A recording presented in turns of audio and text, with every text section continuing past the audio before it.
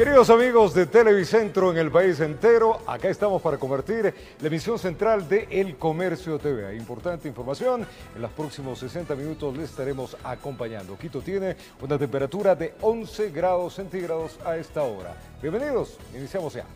Tras la censura y destitución del presidente y tres consejeros del Consejo de Participación Ciudadana y Control Social por parte de la Asamblea Nacional, la expectativa en dicha institución se centra en la principalización de los consejeros suplentes, quienes ocuparían los cargos de los cesados Carlos Tuárez, Walter Gómez, Rosa Chalá y Victoria de Sintón. Miremos.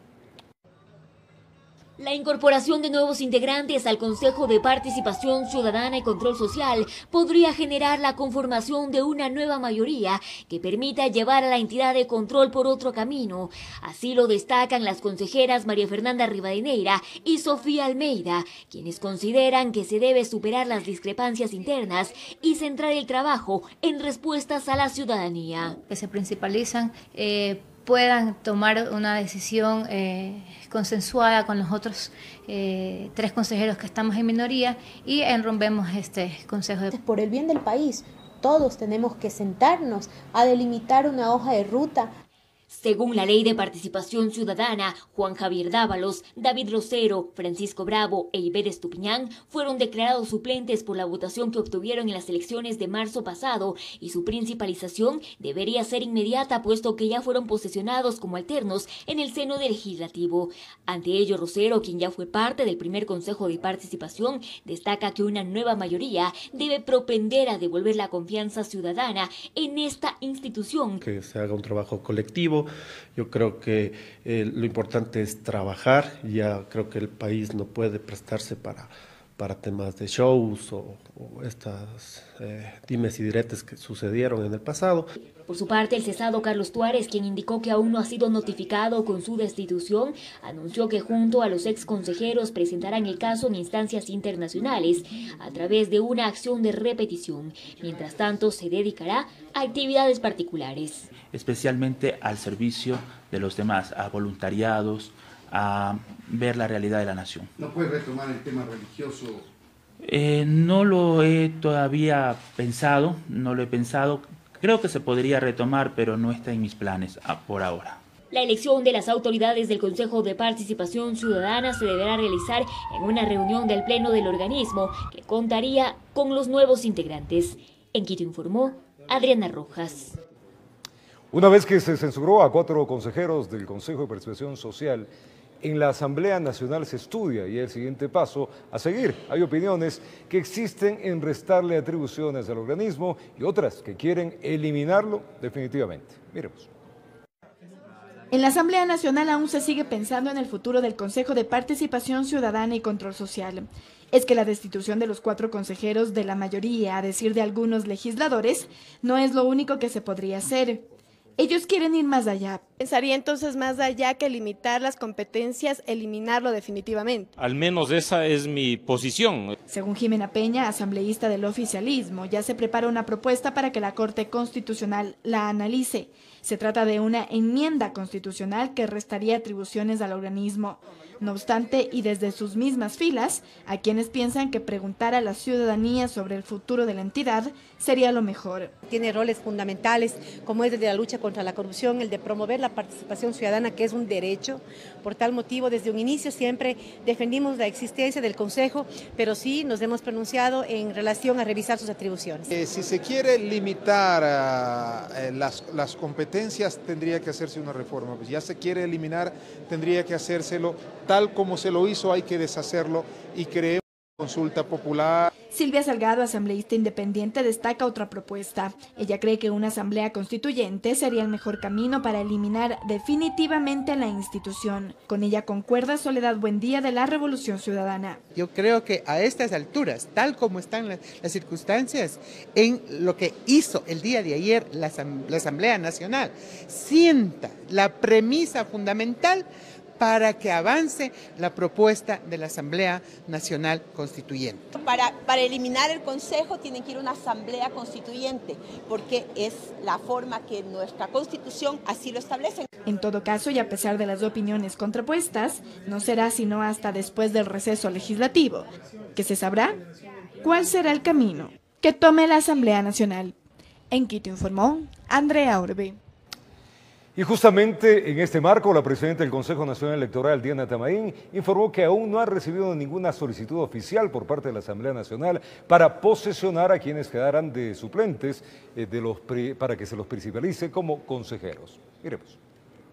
Hasta el momento no hemos recibido ningún documento oficial de pedido de parte de la Asamblea Nacional para posesionar a los nuevos suplentes. Sin embargo, la ley es clara, a quienes les correspondería serían a los siguientes más votados de cada una de las listas. La suplente que iría por parte de las mujeres sería Gina Aguilar Ochoa, el suplente por parte de los hombres sería Carlos Figueroa y pueblos y nacionalidades sería Jaime Chuchilán. La Asamblea Nacional se allanó al veto del Ejecutivo y derogó el impuesto verde. Dada la eliminación de este tributo, se establece la prescripción de deudas impagas de los años 2012, 2013 y 2014, entre otros beneficios. Ha sido aprobada la moción presentada por la asambleísta Homero Castañeda. Así, con 86 votos a favor, el denominado impuesto verde, que imponía un tributo a la contaminación vehicular, fue eliminado tras siete años de existencia. Los asambleístas se allanaron a las seis observaciones que hizo el primer mandatario Lenín Moreno a la ley derogatoria, que ya había sido previamente aprobada por el legislativo. quiero felicitar a la Asamblea Nacional con respecto a un impuesto que jamás debió haber existido. A decir de la bancada de Creo que se haya derogado el impuesto es un triunfo. Inicialmente nos decían que no se podía. Bueno, tan si se puede que estamos a punto de aprobar el allanamiento al veto entregado por el presidente de la República. Con la derogación de la ley se permite ahora que para iniciar un trámite de chatarrización no sea requisito previo la cancelación de obligaciones pendientes por el impuesto ambiental y quienes lo hagan podrían importar un vehículo eléctrico nuevo libre de pago de derechos arancelarios. Además se establece la prescripción de deudas impagas de los años 2012, 2013 y 2014 hasta el 27 de diciembre de este año se podría hacer pago del 100% del saldo del capital adeudado o concluido el plazo anterior, deberán pagar en el lapso de tres años. Además, el proyecto contiene otros elementos importantes de no solo derogar el impuesto, es el proceso de remisión, eliminar o suspender los temas de las coactivas y justamente el tema de la chatarización. Asimismo, se contempla que los valores determinados e impagos del impuesto verde correspondientes al presente año tendrán una rebaja del 50% del valor a pagar. La misma Asamblea Nacional enviará esta misma semana para que se publique en el registro oficial y sea ley de la República. En Quito informó Andrea Orbe. Siete en la ocho y tres minutos, la ministra de Gobierno María Paula Romo y el secretario anticorrupción de Iván Granda serán investigados por la Fiscalía General del Estado por el uso del helicóptero de la policía, esto presuntamente para fines personales. Le contamos. La Fiscalía General del Estado abrió una investigación previa en contra de la ministra de Gobierno María Paula Romo y el secretario anticorrupción Iván Granda por el uso del helicóptero de la policía presuntamente con fines personales. La denuncia fue interpuesta por el abogado guayaquileño Pedro Granja el 14 de agosto, mismo que deberá rendir su versión por este caso el 20 de agosto, mientras que los ministros fueron citados para el 21 de agosto.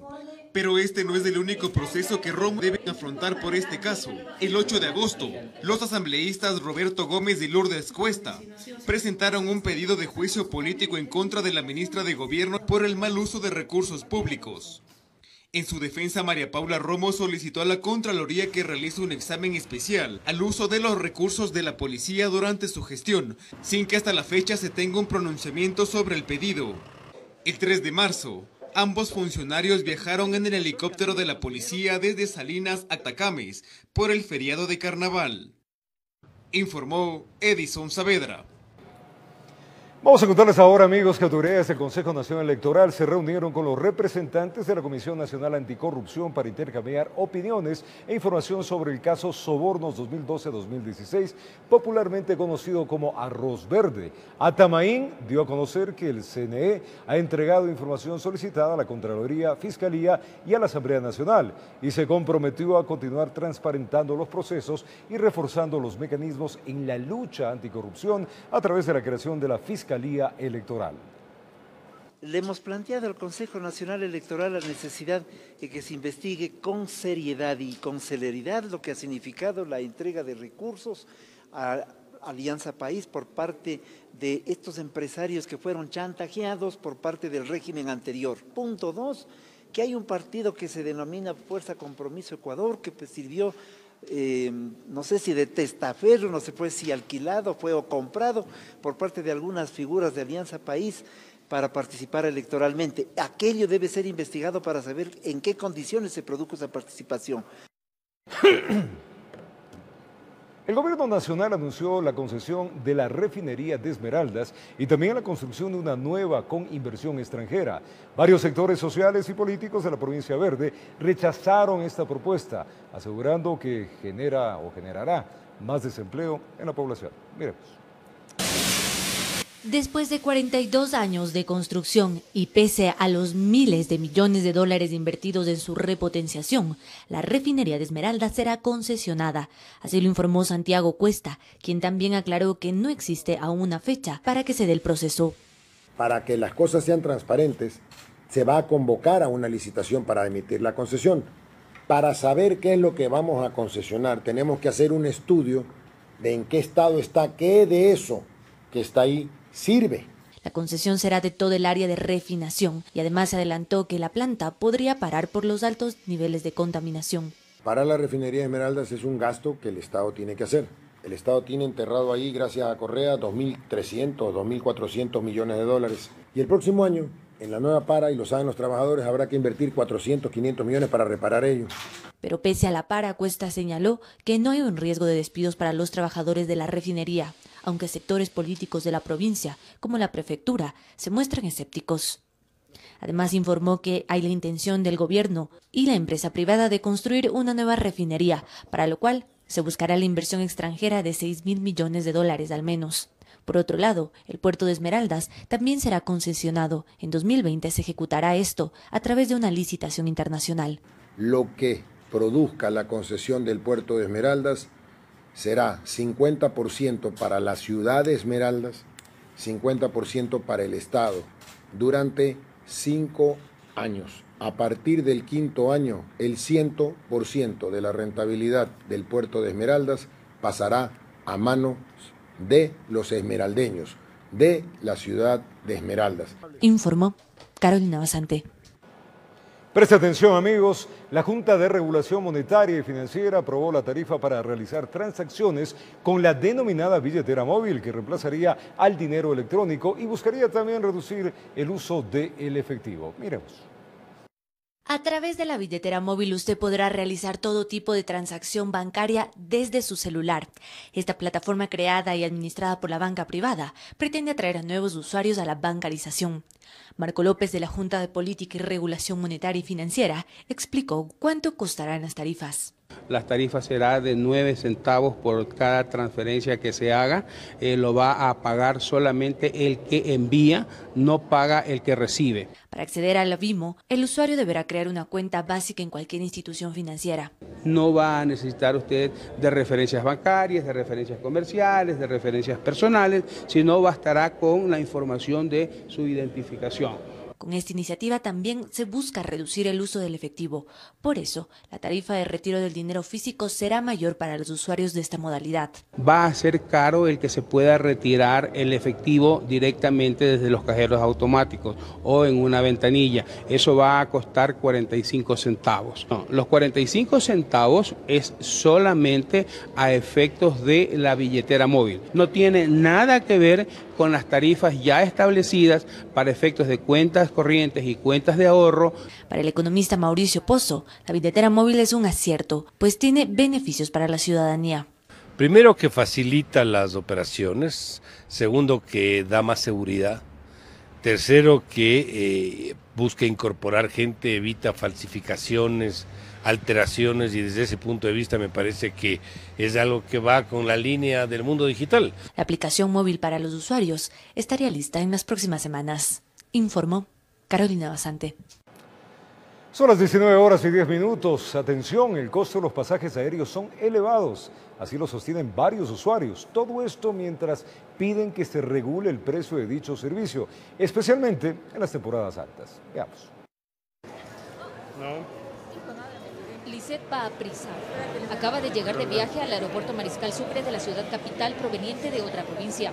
Cuando le preguntamos qué le parece el costo de los pasajes de avión, esta fue su respuesta. A nivel nacional yo veo que son muy costosos. A Patricio Ortiz, quien frecuentemente se traslada en avión, le sorprendió el costo del pasaje Quito-Guayaquil cuando, de última hora, tuvo que viajar al puerto principal. 322 a Guayaquil, desde Quito a Guayaquil. Muy caro. Otra de las turistas es María Capelo. Ella considera que se deben regular los costos de los pasajes aéreos. Precios cómodos para todos y, no estar subiendo en temporada alta, sino seguir siendo lo mismo. Para Luis Galárraga, gerente de comunicación de Keyport, los precios de los pasajes varían según las reglas de transporte aéreo, mismos que son normados por cada aerolínea. Depende, por supuesto, de cada aerolínea, pero estaríamos hablando de un promedio de que un pasaje Guayaquil podría costar entre 120 y 150 dólares en ciertas temporadas, pero en otras temporadas, o si es que hay ciertas situaciones de última hora, podrían llegar sí a costar alrededor de unos 300 dólares. Y asegura que regular las tarifas aéreas sería perjudicial para dichas aerolíneas. Al saber que hay un mercado regulado, pues las aerolíneas muy probablemente prefieran irse a mercados que no tienen esas regulaciones. Entonces sugiere la entrada de más aerolíneas. La entrada de una aerolínea de bajo costo podría ser muy beneficiosa para la regulación de las tarifas del mercado doméstico para que existan mayores alternativas a precios más convenientes. Según Keyport, el aeropuerto Mariscal Sucre recibe 5.2 millones de turistas anualmente, es decir, al menos 14 mil personas vuelan todos los días. El presidente de la Cámara de Turismo de Pichincha también sostiene necesaria la regulación de dichos costos. Entonces, las líneas aéreas nacionales sí están abusando de ese sentido internacional del manejo, del manejo aéreo, en donde entiendo que si quedan dos asientos tienen que ser más caros porque es una oportunidad, una necesidad y se explota esa necesidad. Todo esto ocurre cuando la Asamblea Nacional analiza el costo de los pasajes aéreos, informó Marilyn Jaramillo. Preste atención a esta información en la ciudad de Quito. El horario para la restricción vehicular denominado Hoy no circula será desde las 5 de la mañana, amigos, hasta las 8 de la noche, o sea, hasta las 20 horas. Esta medida regirá a partir del día lunes 9 de septiembre. Las autoridades enfatizaron que la disposición también incluye a taxistas y a motos. Veamos el hoy no circula funcionará similar a la actual medida de restricción vehicular pico y placa. Es decir, que de acuerdo al último dígito, dos números por día no podrán transitar por la ciudad, pero esta vez serán 15 horas consecutivas. Desde las 5 de la mañana hasta las 8 de la, de, eh, de la noche. La medida regirá a partir del lunes 9 de septiembre. Esta disposición incluye a todos los vehículos de la ciudad, exceptuando a las personas con discapacidad y adultos mayores. Se suman taxis y motos, así es. Además del perímetro de restricción, será el mismo que se utilizó para el pico y placa. La, intervención de la Simón Bolívar es en, el, es en el sur, en la parte sur, y se va a hacer carril, carril por carril, es decir, eh, las personas que circulen por ahí, que no están dentro de la dentro de la cobertura de restricción, tendrán la incomodidad de que van a encontrarse con, un carril, pero la cobertura sigue siendo la misma. Quien infrinja la norma será sancionado incluso con multas económicas. El 15% de la remuneración básica unificada del trabajador y la retención del vehículo. Por segunda vez es del 25% y la retención del, del vehículo y a partir de la tercera vez es el 50% de la remuneración básica unificada del trabajador y retención del vehículo. La nueva disposición se da tras la decisión municipal de repavimentar las principales vías de la ciudad. Según las autoridades, la medida durará únicamente ocho meses, informó Sofía Vintimilla.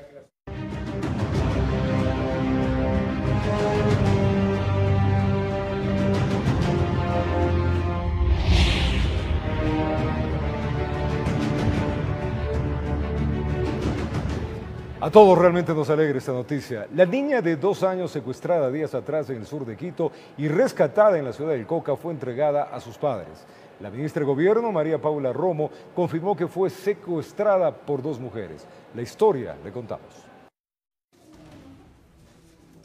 Al fin llegó el momento tan esperado. La pequeña Nay apareció en brazos de una señora policía, inocente de la realidad que enfrentó y sin saber qué sucedió volvió con su madre y padre, que por nueve días vivieron momentos difíciles y duros, sin saber de la suerte de su pequeña hija. Quiero agradecer a Dios por devolverme la dicha de tener a mi hija nuevamente entre mis brazos. La emoción le ganó a las palabras. La madre apenas alcanzó a agradecer a todos los que le apoyaron mientras miraba por todo lado. La ansiedad por volver a tener a su pequeña entre sus brazos seguramente le carcomía el alma. Un Dios le pague a todos. Gracias, gracias todo lo que han hecho por mi hija y por mí. El secuestro de la infante de dos años puso a todo un país en movimiento. La situación de no saber nada de la pequeña a más de uno le robó un suspiro. De ahí que su padre dijo poco, pero con palabras que le nacieron de lo más profundo. Le agradezco a todo Ecuador. Mil gracias, lo único que puedo decir, estoy feliz. Las autoridades confirmaron que se trató de un secuestro cuyas responsables están detenidas. Dos hermanas de 19 y 16 años de edad se llevaron a la niña del local donde estaba con su madre. Eran dos jóvenes que frecuentaban este lugar y que a partir de frecuentar ese lugar tenían una cierta familiaridad con la niña, lo que aparentemente permitió que se la lleven sin que la niña muestre ninguna alarma. Por algunos días la tuvieron en el sur de Quito, le cambiaron de ropa, le cortaron el pelo para evitar que la gente reconozca a la pequeña y la madrugada del pasado lunes se la llevaron a la ciudad del Coca en transporte interprovincial. Unidades especiales de la policía la rescataron horas atrás sana y salva de la comunidad Jaguar, donde estaba bajo el cuidado de las dos mujeres. Ocultaron a la niña antes de subirse en un taxi. Es decir, tenían plena conciencia de lo que estaban haciendo. Un rompecabezas cuyas piezas demoraron nueve días en armarlo, pero que tuvo un final feliz. Anaí ya está con sus padres. En Quito informó Iván Casamen. Siempre es grato, compañeros amigos. Al retornar tenemos más importante información, así que nos separamos brevemente para contarles al retorno que en Chimborazo, en el cantón Guamote, un vehículo lamentablemente en un accidente de tránsito ardió y falleció un muchacho de 24 años. Estas y otras informaciones estaremos presentándoles acá en la edición estelar del Comercio TV en Televicentro. Seguimos adelante con información. Gracias por acompañarnos en todo el país. Vamos a Quevedo, allá en la provincia de Los Ríos se desarrolló un mega operativo, este denominado Impacto 1, donde trabajaron varias unidades de la Policía Nacional, logrando el decomiso de armas de fuego, sustancias ilícitas y también la captura de un individuo. Le contamos.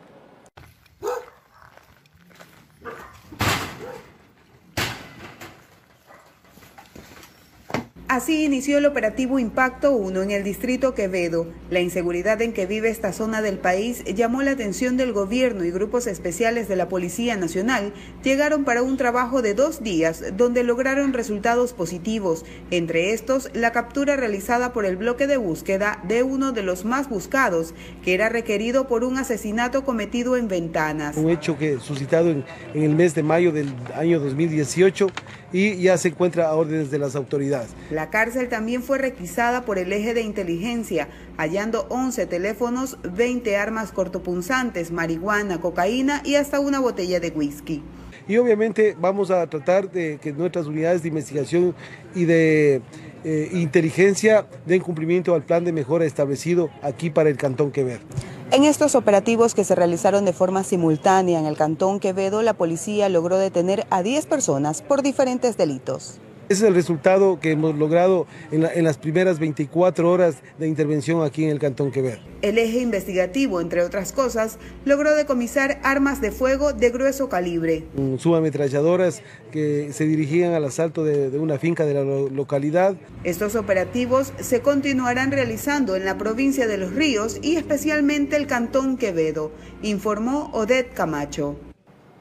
Una joven de 22 años de edad lamentablemente se suicidó saltando al vacío desde el puente antiguo del río Chiche. El operativo de rescate demoró cerca de dos horas. Lamentable, le contamos. Según testigos, la decisión estaba tomada. No hubo nada ni nadie que detenga a la presunta suicida. Se abrió paso entre varios uniformados del grupo de intervención y rescate que a media mañana realizaban prácticas de descenso en el puente antiguo del río Chiche. Como es un paso peatonal, la vieron caminar Todo fue cuestión de segundos para ser testigos directos de semejante desgracia. Pudieron visualizar que una ciudadana había pasado por, por el lugar lanzándose eh, inmediatamente sin poder, eh, los mismos policías poder reaccionar. No tuvieron tiempo ni siquiera decirle que se detenga. La joven se despojó de la bolsa que cargaba y del celular y caminó directo al vacío. El cuerpo quedó a escasos metros del agua en medio de las rocas cuando descendieron los rescatistas del cuerpo de bomberos. Ya todo estaba consumado. Verificaron los signos vitales, que en este caso no tiene presencia de signos vitales, y ahorita estamos esperando personal de la DINASED que ingrese, hagan el peritaje respectivo para poder hacer la extracción del cuerpo. Una joven cuya identidad los policías confirmaron por los documentos y celular que dejó la presunta suicida en la parte alta del puente. Lamentablemente el sector del río Chiche vuelve a ser noticia. Horas atrás, un joven fue encontrado colgado en el puente nuevo, ahora en el viejo. Una mujer saltó al vacío. Está al, lado, eh, al lado de la, en la ribera del río.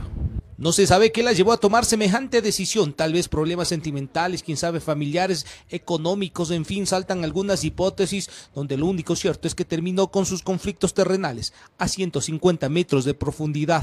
Se desconocen las circunstancias y causas que le motivó a lanzarse al precipicio. La evacuación del cuerpo demoró más de dos horas. Bomberos y elementos del GIR fueron los encargados de sacarlo hasta la vía, mientras a esta hora la familia seguramente estará con el corazón arrugado, llorando la partida inesperada del ser querido. En Quito informó Iván Casamen. Vamos ahora al cantón Guamote, allá en Chimborazo. Un vehículo ardió en llamas tras un accidente de tránsito. Lamentablemente, un joven de 24 años falleció. La fiscalía está investigando el caso. Le contamos. En una bola de fuego se convirtió este vehículo tras perder pista y virarse hacia la cuneta en la vía Guamote a la UCI en Chimborazo. No se sabe quién conducía el automóvil. Al parecer, luego del accidente, se habría dado a la fuga. No se ha encontrado ninguna persona dentro del vehículo, tampoco en el lugar del accidente de tránsito. Sí, el vehículo producto del impacto o producto del accidente de tránsito se incineró. Esta persona presumiblemente acompañante habría resultado con graves heridas, pero lamentablemente falleció en el hospital de Guamote. El resultado de este accidente de tránsito, una persona que ha fallecido. Sus familiares, quienes guardaban su identidad, piden que se investigue el caso ya que no saben quién es el conductor del vehículo siniestrado, para que responda por la muerte de su ser querido.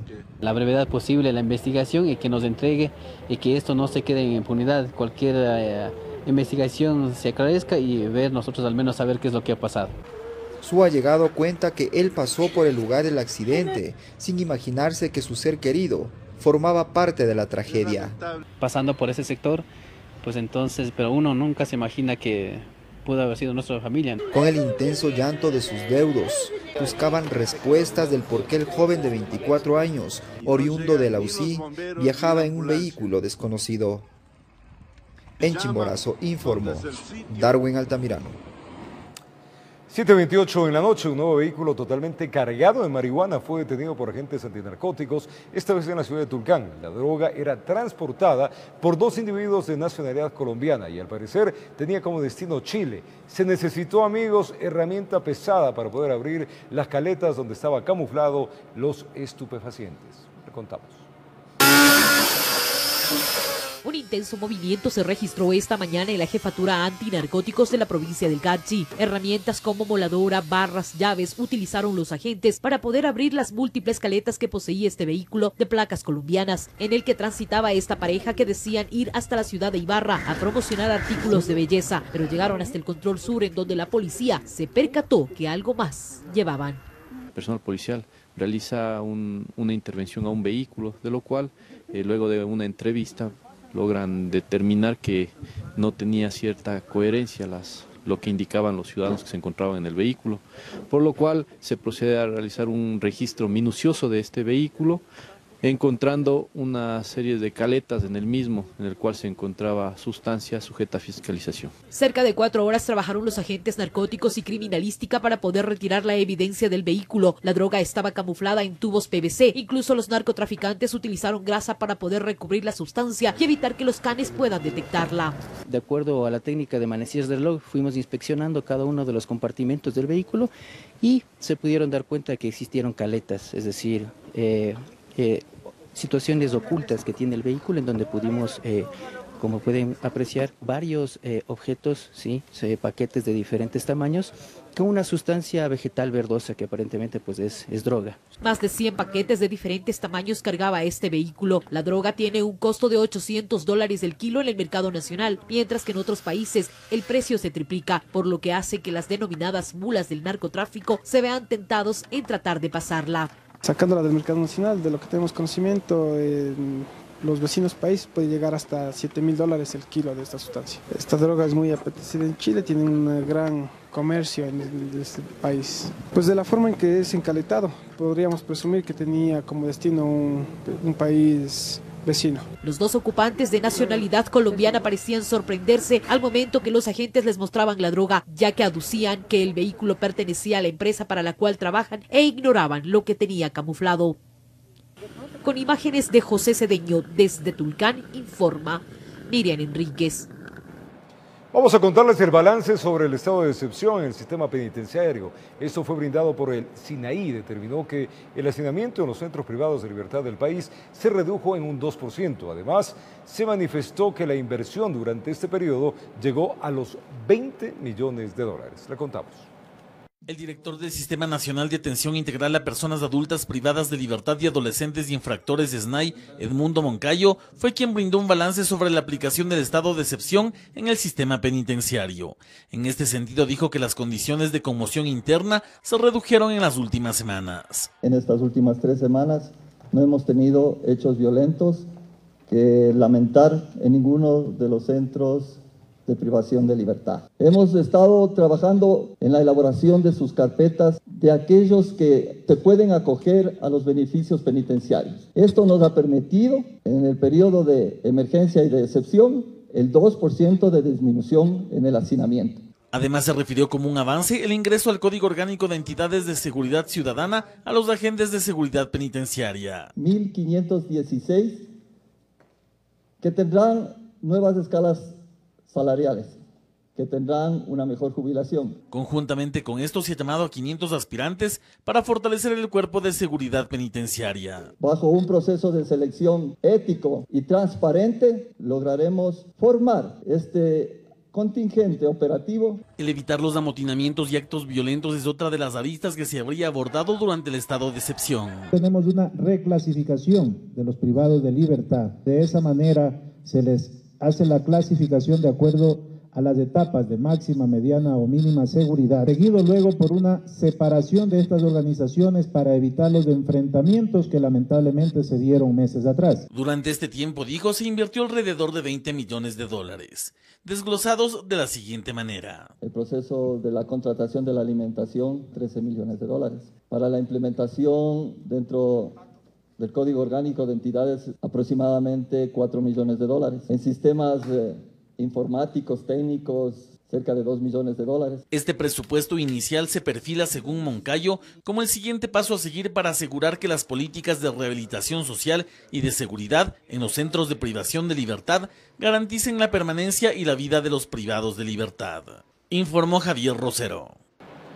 Más de una decena de unidades de policía comunitaria serán repotenciadas esto gracias amigos a un convenio firmado entre el Ministerio de Gobierno, la Policía Nacional y la Alcaldía de Quito. El objetivo es repotenciar la infraestructura e incrementar el número de uniformados designados en cada centro de vigilancia. Buenas noticias al presente convenio marco. Serán 36 unidades de policía comunitaria de un total de 258 que existen en el distrito metropolitano, las que se rehabilitarán. El Ministerio de Gobierno y la Policía Nacional reasignarán el personal necesario a cada centro de vigilancia, de acuerdo al número de habitantes de cada barrio. El éxito del alcalde es el éxito del gobierno, el éxito del gobierno es el éxito del alcalde y el éxito de cualquiera de los dos solamente se da si es que los ciudadanos tienen una vida más segura y una vida más tranquila.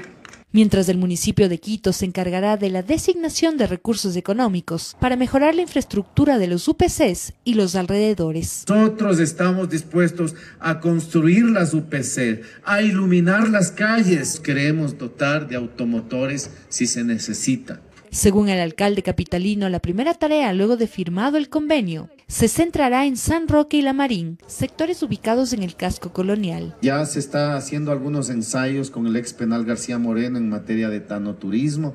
Nosotros tenemos un proyecto de la recuperación total del mercado la ministra de Gobierno manifestó que el trabajo de la policía se complementará con el compromiso ciudadano de apropiarse de los espacios públicos. Las calles seguras no solamente son calles con más policías, son calles con más vecinos. Son calles con vecinos que nos conocemos entre nosotros. En tanto, el burgomaestre señaló la necesidad de revisar las leyes para proteger a las comunidades. Eso de que no es mi competencia, no es mi competencia, eso a mí no me compete, le ha hecho daño a la ciudad. Informó Sofía Vintimilla. 7.36 en la noche, una madre de familia solicita ayuda amigos. ¿Para qué? Para darle una mejor calidad de vida a su hija ella padece una extraña enfermedad, se llama el síndrome de Sotos, rara enfermedad mental. Por favor, preste atención, vamos a conocer el caso en la siguiente nota. Ella es Verónica, madre de Sarita, una adolescente de 15 años que padece de síndrome de Sotos, una enfermedad considerada rara y que causa muchos efectos colaterales en la salud.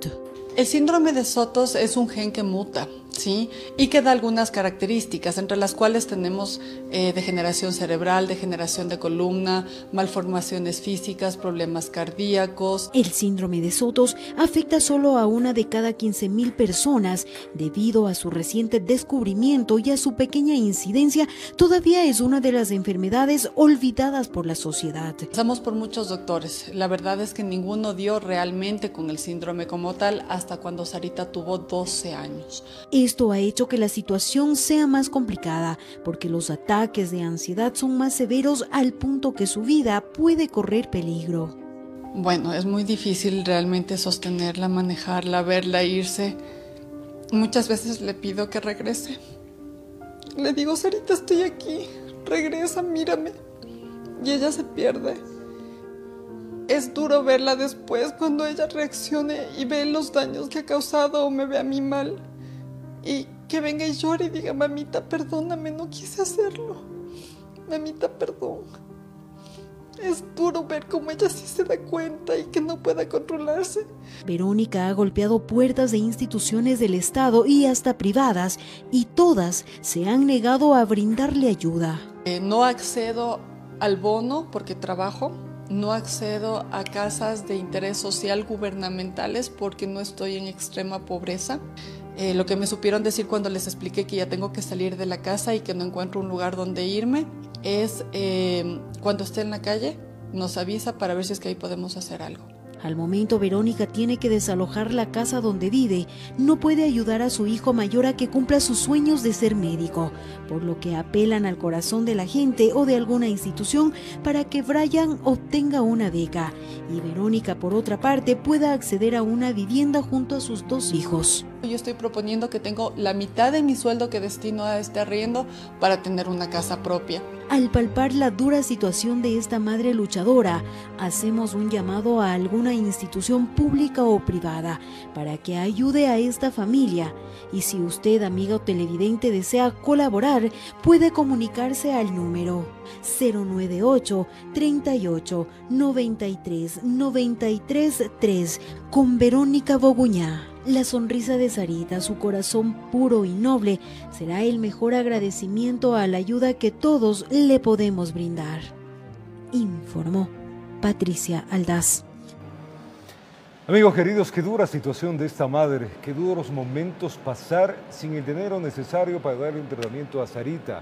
Esta extraña enfermedad, este síndrome de Sotos que padece, necesita ayuda innecesaria por parte de ustedes como sociedad, nosotros que podemos extenderle las manos y la empresa privada que podría hacer mucho por ella. Hospitales, médicos que nos están viendo podrían ser parte de la solución. Aparte la indolencia de algún funcionario del Estado público al decirle que no puedo y no se puede ayudar, pues usted trabaja, usted tiene un dinero, escasamente le alcanza, tiene un sueldo básico y con eso más de la mitad se va para darle el sustento a su hija en un colegio que lo aceptó para dar educación y su hijo mayor no tiene la posibilidad de cumplir su sueño, que es ser médico. Por eso aquí apelamos a la sensibilidad de alguien que pueda ayudar. El Estado debería hacerse cargo de una enfermedad de un síndrome grave. El Estado está para poder ayudar, indistinto que trabaje o no. ¿Cómo le pueden decir de que cuando esté en indigencia, ahí venga? Y además apelamos a la sensibilidad de que alguien le dé un techo. Tiene que alejarse de su casa lo antes posible. En pantalla, ahí está el número. Por favor, tratemos de ayudar. Seamos también parte de la solución no solamente como la nota que decía que la sonrisa se agradece Sarita, sino la satisfacción de poder ser parte de la ayuda necesaria como ciudadanos. Tiempo de una pausa. Vamos a retornar y tendremos importante información, noticias internacionales. Ustedes no se nos vayan. Al retornar en China, se envió tropas a la frontera con Hong Kong y amenaza con una intervención militar para frenar las protestas. En Argentina se anuncia la eliminación de los productos de consumo masivo de la canasta básica. Estas y otras informaciones y noticias internacionales al retornar en la emisión central de El Comercio TV en la señal de Televicentro. Una pausa, ya venimos.